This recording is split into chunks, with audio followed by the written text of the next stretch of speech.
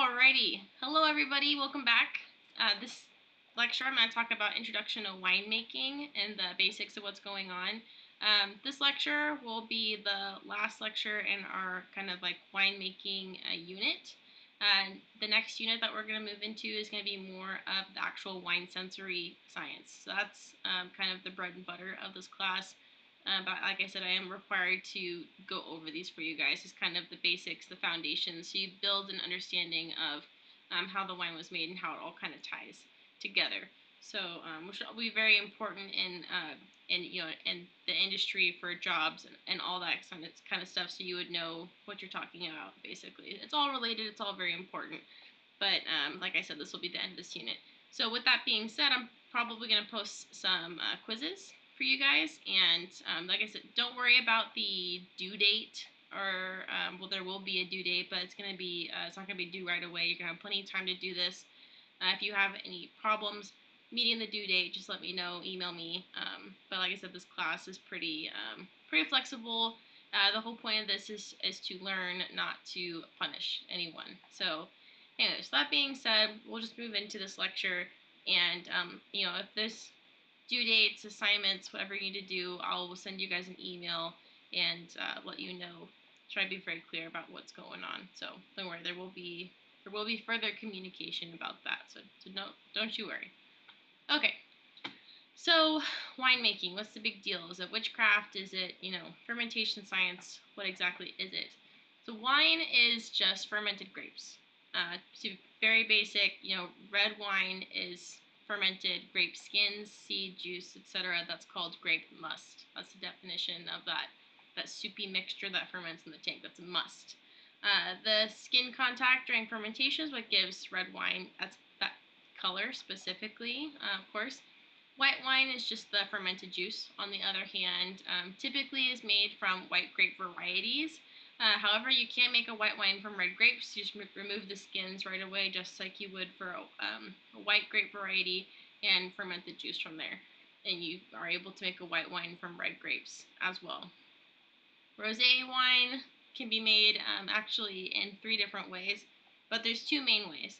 Um, you could use red grapes that are crushed and left on the skins for just a couple of hours, and then pressed and fermented.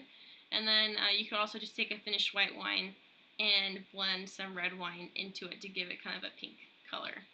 Um, here is a clip on YouTube, kind of like how wine is made. It goes through a really nice kind of short animated process. If it helps you if you're a visual learner like me, um, that helps a lot. So feel free to click on the link. Um, you can watch that video.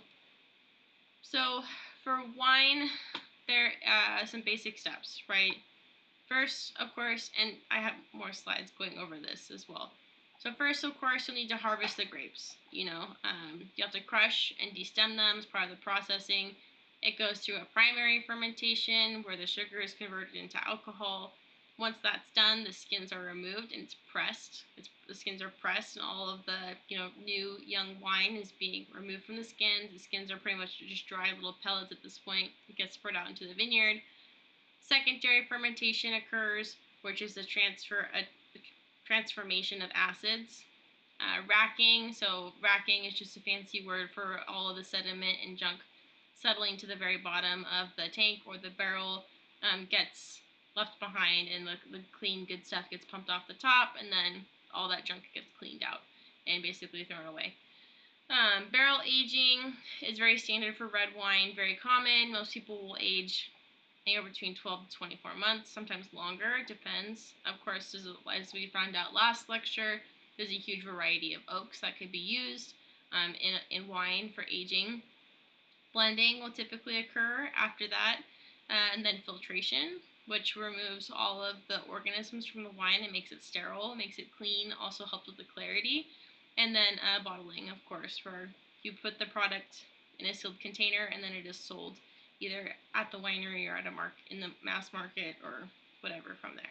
Those are the basic steps. So we're we're gonna dive into these. So don't worry if that was too uh, too much of just the surface level for you. So for red wine, like I said, harvest, destemming and crushing, fermentation typically happens in a very large stainless steel tank like this. Uh, pressing, this is a um, basket press it kind of works. You screw it down and it pushes this like flat mantle up against the skins and then the you know resulting wine or juice comes from this bottom valve. Then it can go through malolactic fermentation. It's the secondary fermentation. Don't worry we're going to talk about this more. That can happen in a tank or in a barrel.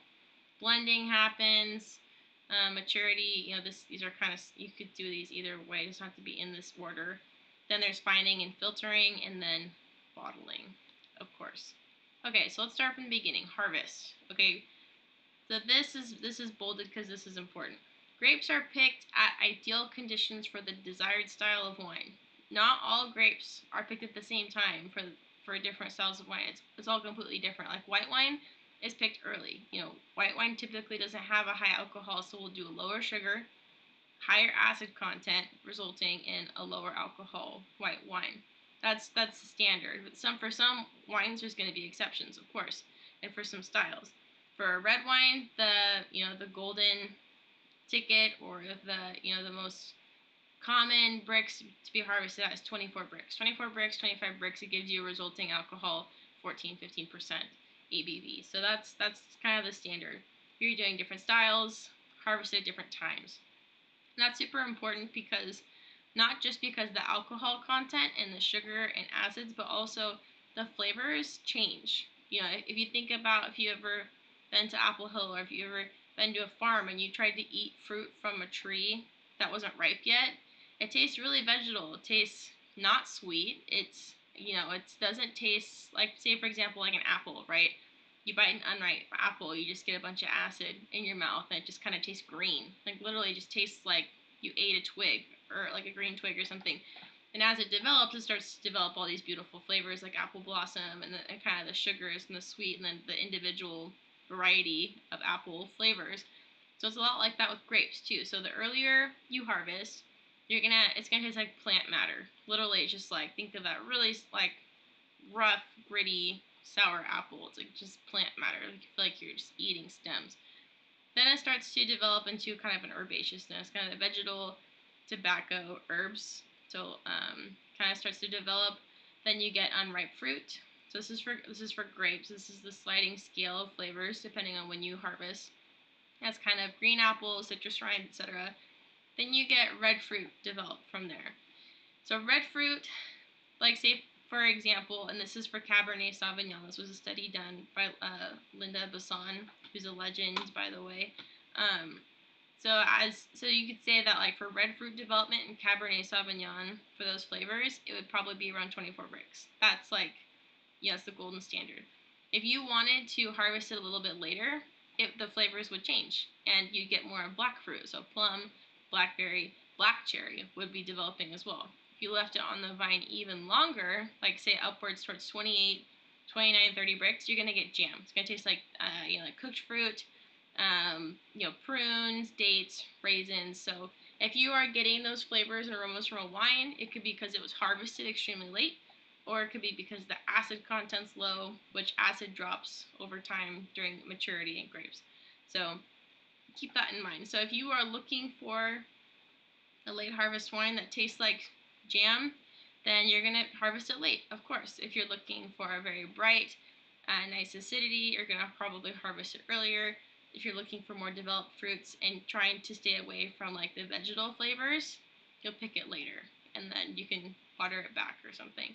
So that's kind of keep that in mind for you know people we we utilize and manipulate this to get the fruit that we want. Like a lot of people will pick fruit just off of the taste. So that that is a thing. In addition though, of course we look at sugar content. It, it's related to the resulting alcohol, and like I said, the flavors develops, like we just talked. Acid content is very important because um, when you think about acid that you taste, the sugar to acid ratio needs to be just right. If you don't have enough acid, the resulting wine will be extremely flabby and kind of just meh, kind of monotoned. Too high of acid, and uh, you know, it's going to be too tart for people, or everyone's going to be like, oh, my acid reflux, or something like that you have to be very careful. It has to be balanced. It has to be balanced. Think of like Coca-Cola. Coca-Cola has been engineered to be the perfect ratio of sugar to um, CO2, like carbon dioxide, you know, bubbles, and acid. So There's a reason that it sells so well. It, it's addicting. Uh, pH. pH is extremely important. Um, I don't know if I've already lectured you guys about pH, but just think about like a fish tank. Think about the pH in your body. Something shifts slightly, everything goes into chaos. So pH for grapes before they're harvested is analyzed to make sure that when it comes time to fermentation, it's the correct stable environment for microorganisms to flourish. So that's that's why we think about this. So anyways, the main point of this is that the grapes have to be picked at an ideal condition for the desired style of wine. And you have to know what it is for the style so, so you know what's going on. So step two, once it's been harvested, crush and destem. Now, this is typically done for red wines. It can be done for some whites, and then they're just pressed immediately, or um, maybe just after a couple of hours. Um, so yeah, this is typically, you know, the grapes are dumped in this situation that you see here. These have already been already been uh, crushed and destemmed. You can see it's just like a massive bin of just berries. Looks like blueberries. Everyone always says looks like blueberries.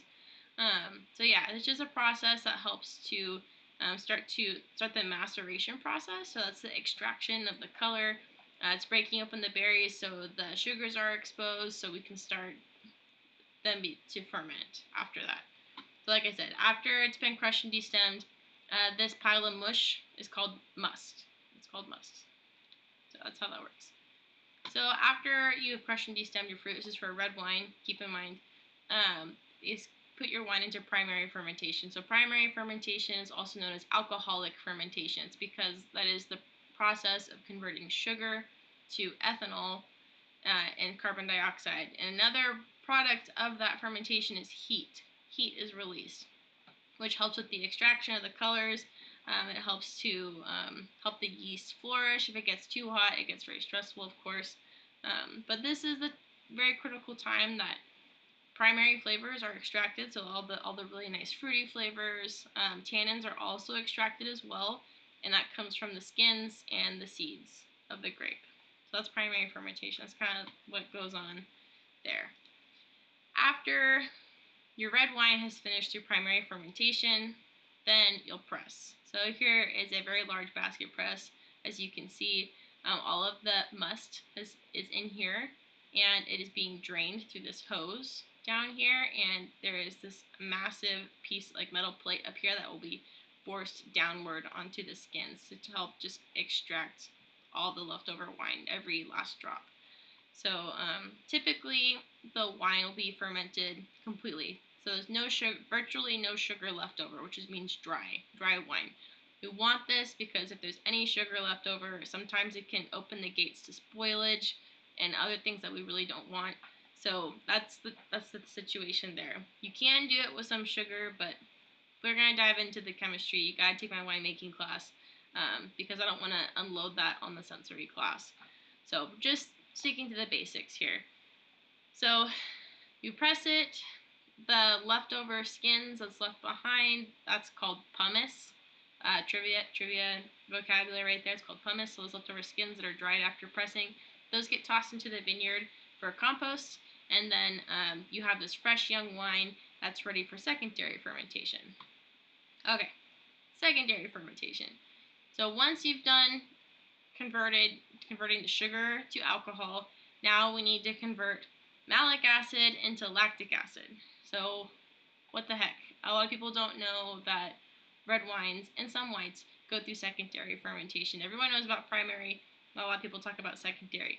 So secondary fermentation is extremely important for a lot of reasons. It's involved with stability. Um, there's a lot of really nasty organisms out there that like to eat malic acid and produce negative flavors and aromas. So it's a, it's a stability as well. But also a lot of like really pleasant, high award-winning wines um, have gone through secondary fermentation because it creates a softer and creamier mouthfeel in the wine. So it, it's very desirable, okay? Um, so, like we said, this in this case, instead of using how we use a yeast for primary fermentation, we actually use a bacteria for malolactic fermentation. And if you ever get confused, think malolactic, the answer is literally in the name, malolactic. It's the conversion of malic acid to lactic acid. And we call this a fermentation, even though technically speaking it's not a fermentation, it's a decarboxylation reaction because um, it releases CO2 in the process, so it kind of bubbles like primary fermentation. That's why, that's why we think of that. Um, most of the time, you'll see secondary fermentation or malolactic fermentations occur in the barrel. It does not normally look like this. This is just the only photo I could find on the internet. it's, not normally bubbling over like this, but in extreme situations, if it was just really vigorous, it could. It's possible. Um, but yes, happens in the barrel. The barrel just happens to be a really good environment for malolactic fermentation to take place. And um, from there, once that's completed, it gets racked. And, uh, you know, all the bacteria that's dead gets cleaned out. And, uh, and we move on. This is kind of the, this is the chemistry behind what I was telling you guys with the malolactic fermentation. So this is organic chemistry. Yes, if anyone's taken that. Um, here is a structure of malic acid. So as you can see, um, this what I have circled here in uh, these little red circles, that is a carboxylic acid group. So that you can literally see it is a conversion of a compound that has two acid groups to a compound that has only one. Why is that important? It's still, it's still, you still have a compound. Well, one of those compounds gets released into as carbon dioxide, one of those uh, carboxylic acid groups gets released to CO2. So it literally changes the flavors from like a harsh green apple to yogurt. So they're both acids, two different sensory aspects to them. Okay, so literally malic acid is in green apples, lactic acid is in yogurt and milk. So it really helps the mouthfeel, it really helps stability, um, it's just a lot of really good wines are tied to that.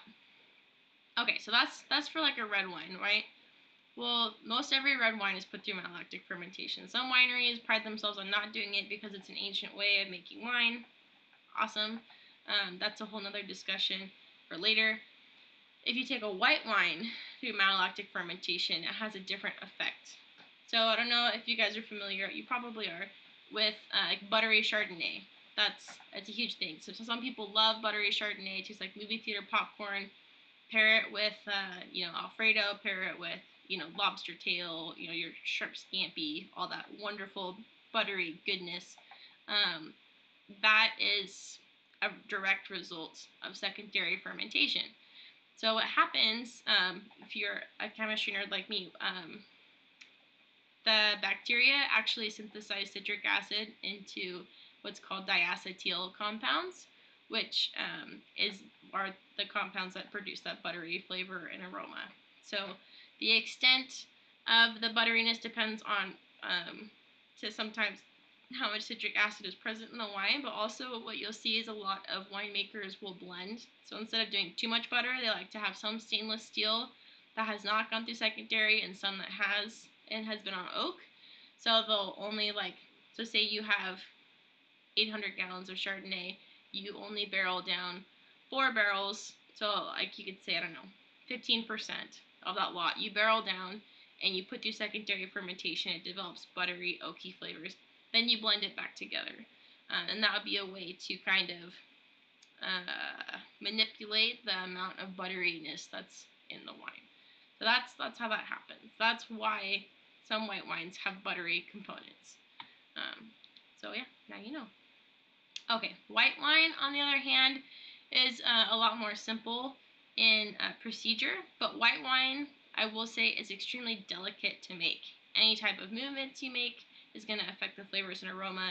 It's extremely susceptible to oxidation, so like browning, because it is white, it's much more obvious when a white wine starts to brown instead of a red wine. Um, so yeah, the process is simpler though, in general. Uh, so you have white grapes that are harvested and then they're sent to the press. Press immediately to uh, remove the skin, seeds, and stems from the juice. Then you just take the juice and you put that in a tank and you ferment it. Um, typically for white wines, you want to ferment really cold and really slow. It helps to preserve a lot of the flavors and aromas. Uh, keeps it really complex, really bright, and um, ends up being a really good product.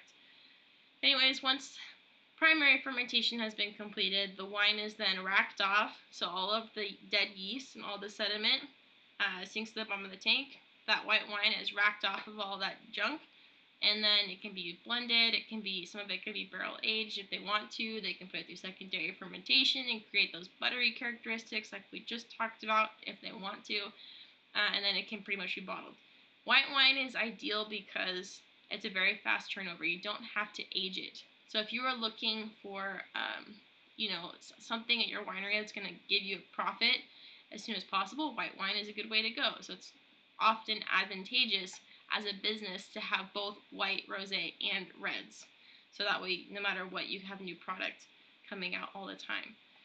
So you don't have to wait, you know, two or three years for your new vintage of red to come out. Or if you had to throw out a vintage because of smoke taint, uh, you at least have white wines coming soon that you could put in your wine club and stuff.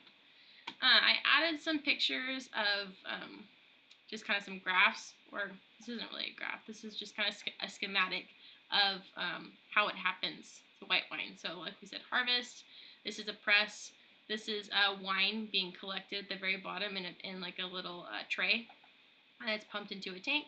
This is juice, and then uh, it will ferment and clarify. So as you can see, all of the yeast is sinking to the bottom of the barrel or would be in the bottom of the tank.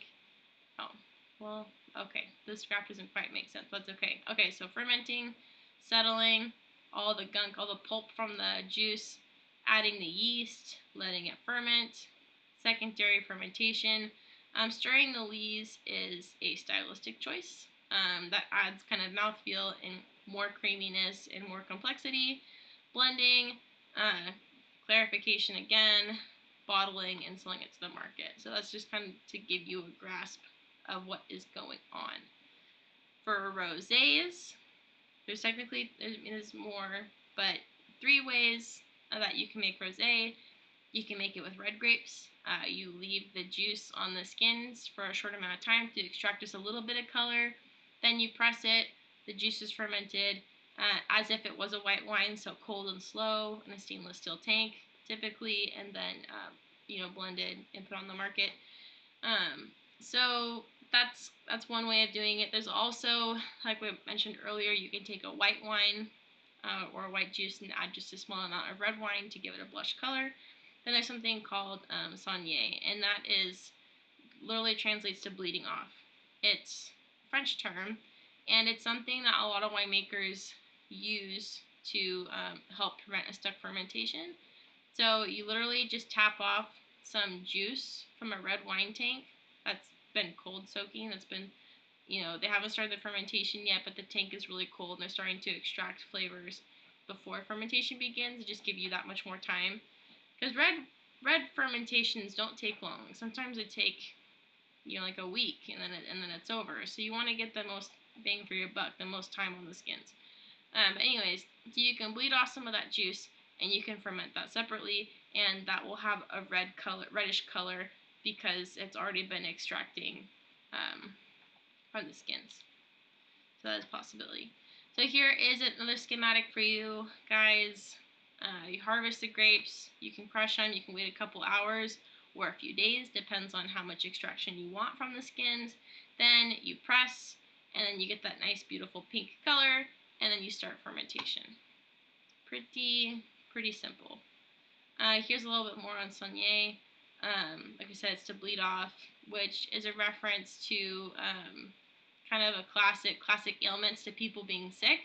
Uh, they would, they would bleed off. They, they would take some blood out of you to help you get better.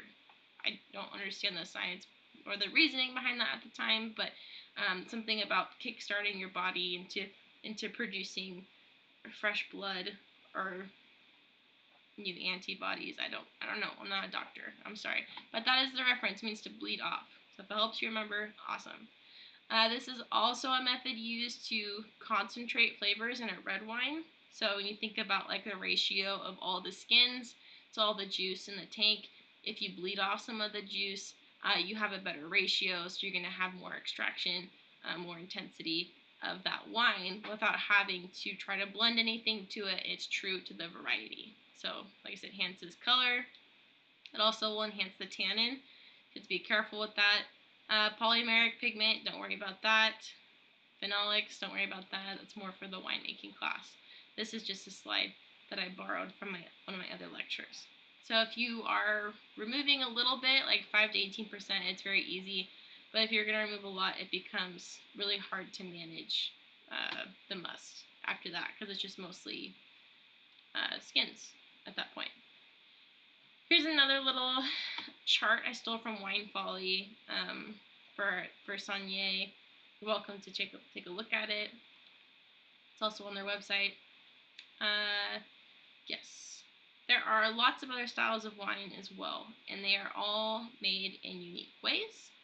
Sparkling wine, uh, personal favorite. So for this one, this is harvested one of the earliest out of all the styles of wines.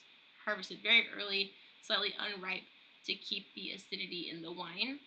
Uh, the bubbles that you're tasting in sparkling wine is carbon dioxide. It can be bubbled in directly, um, but most of the time for higher quality um, sparkling and champagne, it's, it's, produced by the yeast during fermentation.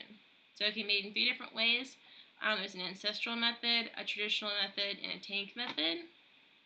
And I, you don't have to know like crazy too much about this. This is kind of just more for your information.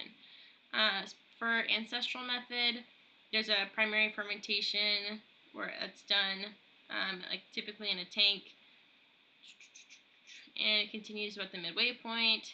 Uh, it's filtered and paused, so that way there is some kind of some residual sugar in there. Then um, we add some yeast to the bottle, and it ferments in the bottle. It's, a, it's producing the carbon dioxide. Then we have a riddling and a disgorging. So the riddling is, you know, they put it on a rack and they twist the bottles. There's actually some machines that do it like automatically, like they move where they need to go. It's pretty crazy if you ever get to see those.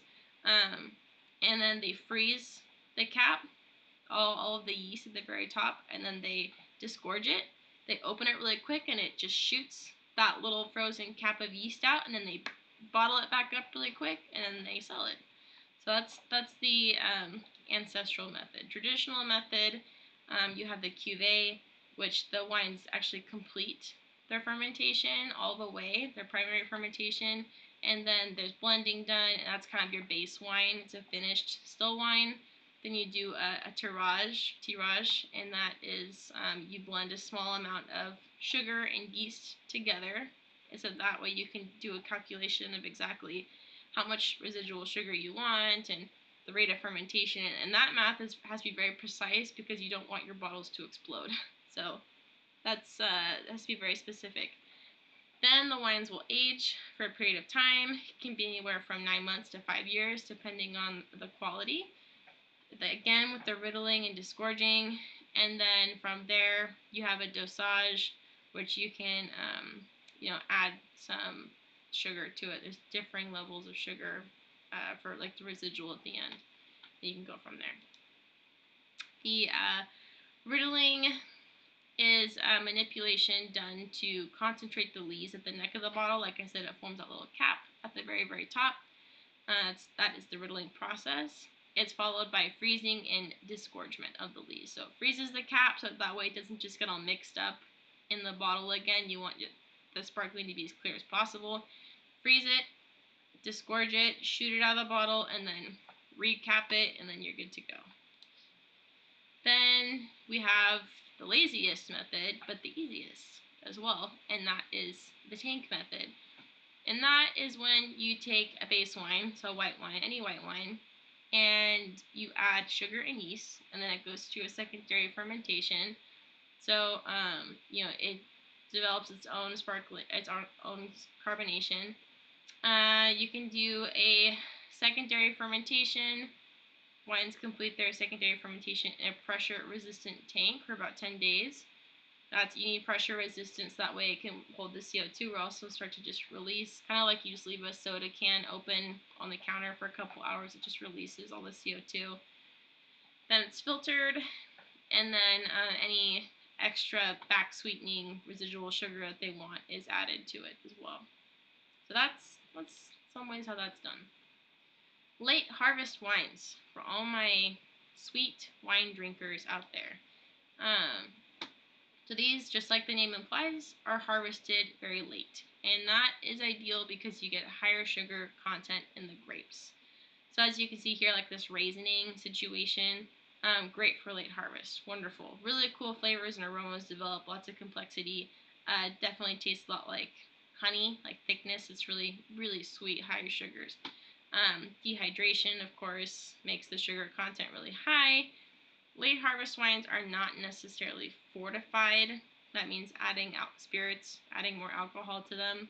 So they don't necessarily have a high alcohol. You can have late harvests that are, you know, 12, 13%. Some of them can be higher, of course. Typical varieties, you know, Pinot Gris, Viognier, Muscat of Alexandria, I wouldn't pay attention to that. It could literally be anything. You could make a late harvest of anything. But for this, typically fermentation is arrested or forced to stop abruptly by either uh, temperature, so you can chill the tank very, very, very cold where nothing really wants to operate, and or you can sterile filter. You can filter, get all the microorganisms out of the wine, so that way nothing is there to ferment anything. Okay, port style wines. These are also harvested very late to attain the highest amount of sugars, of course. Uh, it is typically fortified with brandy or wine spirits. Like I said, this is a port style. Um, only Portugal or people who are grandfathered into calling their wine port in the United States can call it port. That is like a, a right res reserved for Portugal, just like champagne only comes from Champagne Hills of France. So that's kind of something that they reserve. Typically for these wines, high alcohol and high sugar. Uh, the alcohol will arrest the fermentation so that you are left with some residual sugar. Otherwise, uh, the yeast will ferment into completion. So, I don't know if you remember from my previous lecture, I mentioned that fermentation becomes very, very difficult for yeast when alcohol hits above 15%. So that's, you know, it's when you see that brandy coming in to help that, help stop that. Okay, late harvest botrytized wine. So botrytis is also known as noble rot. It is a fungus that attacks fruit. When your strawberries start to mold in the fridge, or your you know your fruit starts to mold, that is botrytis, quite literally. Uh, and most of the time we'll throw out our fruit when we see that, but in the case of some winemaking styles, it is actually um, really valued. So botrytis and grapes uh, will transform the flavors to more of like honey characteristics, but it also um, like kind of it uh, dehydrates the berries and it concentrates the sugars and flavors. So um, there's you don't want them all to be insanely covered in botrytis or attacked by this. You actually have to um, go through and cut some of the rot out. And you're not going to get sick. You don't get sick from this. It's a fermented product. You, you know, you're drinking fungus and mold. Like, that gets filtered. So you're, you know, you'll be you'll be fine. I promise. But if you'd like to learn more about it, it's actually a very expensive and really intricate process. I have a couple of um, videos posted here on YouTube about noble rot, and also um, we have a Wine Spectator article about botrytis as well. So very cool. Sauternes are very popular too as well. Um, it's a very sweet wine uh, from Bordeaux. It's also made with botrytis uh, fungi. It can be aged up to 100 years. It starts with a light golden color and it darkens with age, of course. Last but not least, ice wines. Ice wines are made by harvesting frozen. That's that's the that's the um, appeal of that. It is a very expensive procedure.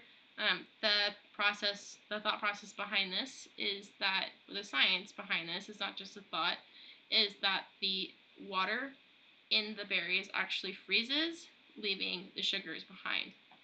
So at this point, the grapes are harvested when they're frozen, they're pressed, the ice is still solid in those grapes, and all the juice is pressed out and extracted, and then you have this product of, you know, like a low alcohol, sweet wine that is just like insanely sweet.